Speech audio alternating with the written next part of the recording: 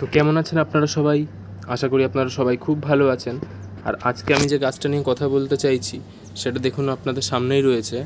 এটা একটা বেল ফুলের গাছ, বেলি ফুল যাকে বলে। তো বেলি ফুলের এখন সময় চলে গেছে। এটা এখন অক্টোবর মাস চলছে।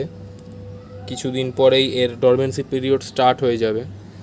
তো একে এই গাছে ফুল হওয়া বন্ধ হয়ে গেছে। তাও দেখুন একটা কুড়ি রয়েছে। এর আগে আরও অনেক ফুল হয়ে গেছে এই গাছ থেকে আমার। হ্যাঁ দেখুন।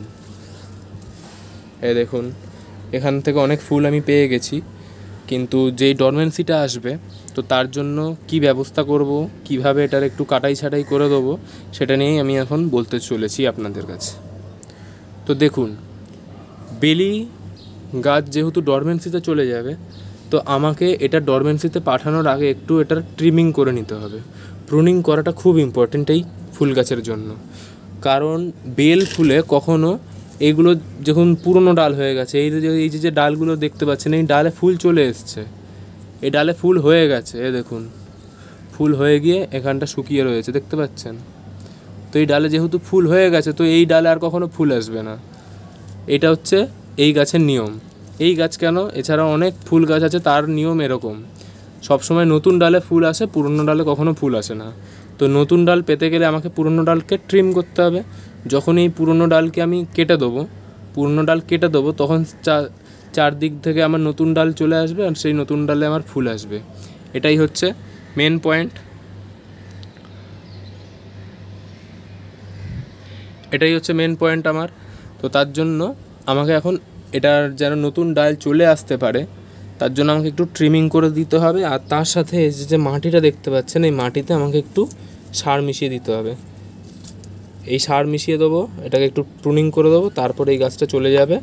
ডরমেন্সিতে শীতকালে যেভাবে এক জায়গা দিয়ে থেকে থাকে, সেরকমভাবে এটা শীতকালে এক জায়গায় থেকে থাকবে। তারপরে যখন আবার শীত চলে যাবে, আবার গরমকাল চলে আসবে, দেখবেন এর মধ্যে ফুল একেবারে ভরে যাবে। তো একে ট্রিমিং করতে গেলে আমাকে একটা লেভেল মেনটেন করে এটাকে কাটতে হবে। পুরো একদম সমান করে আমি একটা লেভেল মেনটেন করে এটাকে কেটে দেবো। তো দেখুন, আমি একটা লেভেল মেনটেন করছি। যেমন এই ডাল, এই ডালটা দেখুন, যেই লেভেলে রয়েছে, আমি সেই লেভেলটাকে মেনটেন করে এখান দিয়ে কাট লাগাবো। এর কা- কাঠটা লাগাতে হয়, এই যে যে ডালটা রয়েছে দেখতে পাচ্ছেন, এই ডালের এই পাতাটা এই পাতাটা। এই যে, এই পাতাটা, এইখান দিয়ে দেখুন। এই পাতাটা এই পাতাটা। এই পাতাটার মাঝখানে এই যে যে ডাল, আমি ঠিক তার ওপর দিয়ে কেটে দেবো। এই ঠিক তার ওপর দিয়ে কেটে দেবো। এরকমভাবে সব কটাতে আমাকে কেটে দিতে হবে। তাহলে গাছের একটা মেনটেন বজায় থাকবে। এটাকে হার্ট প্রুনিং বলে না, এটাকে একটু অল্প করেই প্রুনিং করা বলে। তো ডরমেন্সি যাওয়ার আগে কখনো হার্ট প্রুনিং করবেন না করবেন না। ডরমেন্সিতে যাওয়ার আগে আপনার সবসময় ওপর থেকে একটু হালকা করে প্রুনিং করে দিন। তারপর যখন সেই ফেব্রুয়ারি মাস আসতে থাকবে, তখন আপনারা এটাকে আরেকবার প্রুনিং করে দেবেন, দেখবেন অনেক ডালপালা বেরিয়ে আসবে গাছ থেকে। সেটা পরে করব, যখন আমি তখন আপনাদেরকে ভিডিও করে দেখিয়ে দেবো। তো যেমন এটাকে কেটে দিলাম, ঠিক একই লেভেল মেনটেন করে আমি এখান দিয়ে একটা কাট লাগিয়ে দেবো। এই দেখুন, এটা আমি কেটে দিলাম। এটাকে এখান দিয়ে কেটে দিলাম। এটা এখান দিয়ে কেটে দিই। এটা এরকমভাবে যাবে যাবে যাবে যাবে। এইখানে একটা ডাল আছে, এটাকে এখান দিয়ে কেটে দিই। এটাও এখান দিয়ে কেটে যাবে। কেটে যাবে। তারপর এখানে আসবে, দেখুন, সব লেভেল মেনটেন করে চলছি আমি। এই আসবে এই আসবে এই আসবে মানে এইখানে। তার মানে এটার আমি কাটবো এখান থেকে। কেটে দিলাম। এই যাবে এই যাবে এই যাবে, এইখানে আসবে। এখান দিয়ে কেটে দেবো। দেখতে পেলেন? এটাকে আমি পুরো একটা লেভেল মেনটেন করে সব কেটে দিলাম। একই রকমভাবে আমাকে এখান দিয়েও কেটে যেতে হবে। কেটে দেবো এটা এদিক দিয়ে। এই এই ভাবে কেটে যাবে। তারপরে এই আসবে, এইখান দিয়ে আসবে যখন, এটাকে ঠিক এর একটু ওপর দিয়ে কেটে দেবো। এটাকে এই, এটাকে এখান দিয়ে এই ভাবে কেটে দেবো। একই রকমভাবে যাবে যাবে এটাকে এদিক দিয়ে। আশা করি আপনারা বুঝতে পারছেন আমি কীরকমভাবে কাঠটা করছি দেখুন। এ দেখুন, ভালো করে দেখতে থাকুন। এটার একটা লেভেল মেনটেন রয়েছে। কোথাও উঁচু নিচু করে এরকমভাবে আমি কাটছি না। এটা কেটে গেছে। এবার এটা, এ দেখুন, এটা এখান দিয়ে কেটেছিলাম তো। এটা রাখুন। কাঁচিটা এটা সমান ধরে, আসুন আসুন আসুন, তাহলে এটা এখানে আসবে। এখান দিয়ে কেটে দেবো। এই এখান দিয়ে কেটে দেবো। এই এই এই এই। তো দেখতে পাচ্ছেন, একদম সমান লেভেলে কেটে দিয়েছি।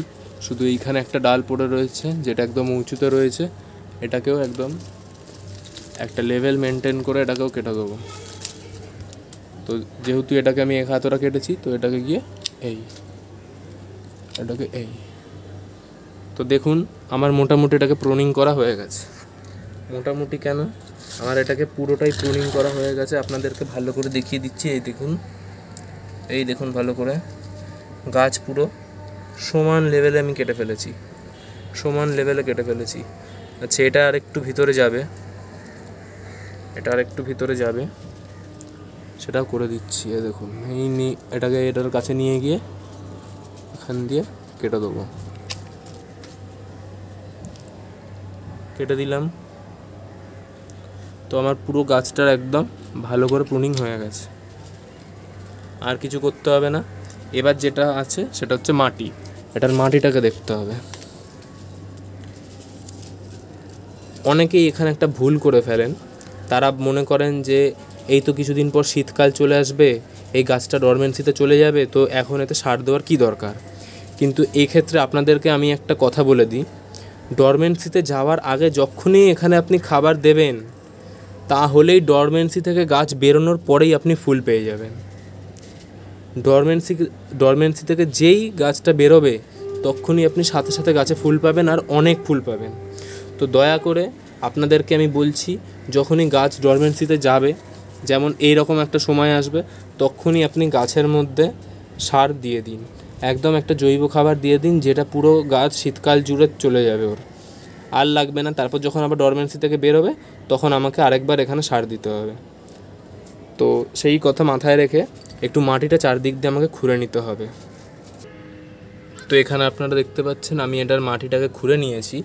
তো একই রকমভাবে আমি এখান থেকে আবার এক মুঠো জৈব মিশ্র সারটা নেব, আর সেটাকে এই গাছের চারদিক বরাবর আমি ঢেলে ঢেলে দিতে থাকব। চারদিক বরাবর। দেওয়ার পর ভালো করে মাটি গুলোকে চারদিকে সরিয়ে দেবো। গাছের গোড়ায় কখনো সার দেবেন না, গাছের গোড়ার মধ্যে কখনো সার প্রয়োগ করবেন না। দেখুন, যত সার পড়েছে আমি গাছের গোড়া থেকে চারদিকে সরিয়ে নিচ্ছি। কারণ গাছ কখনো নিচ থেকে খাবার খায় না, এই জায়গাটা কখনো ডিস্টার্ব করবেন না। আপনি যখনই এই জায়গার মধ্যে ডিস্টার্ব করবেন, আপনার গাছের মধ্যে রোগ ধরে যাবে। ফাঙ্গাস অ্যাটাক হবে বা অন্য কোনো মিলিবাগ পোকার আক্রমণ হবে, অর্থাৎ আপনার গাছটা দুর্বল হয়ে যাবে। এইখানে কখনো কিচ্ছু করবেন না খুঁড়তেও যাবেন না। মাটি খোঁড়ার দরকার হলে চারদিক দিয়ে খুঁড়বেন, যা করবেন এই চারদিক দিয়ে করবেন, কখনো দিকে করবেন না। ওদিকটা করলে আপনার গাছ দুর্বল হয়ে যাবে। তো দেখুন, আমি চারদিক দিয়ে সরিয়ে দিলাম। সরিয়ে দেওয়ার পর এর মধ্যে আমি জল ঢেলে দেবো। অল্প অল্প করে জল দিয়ে দেবো।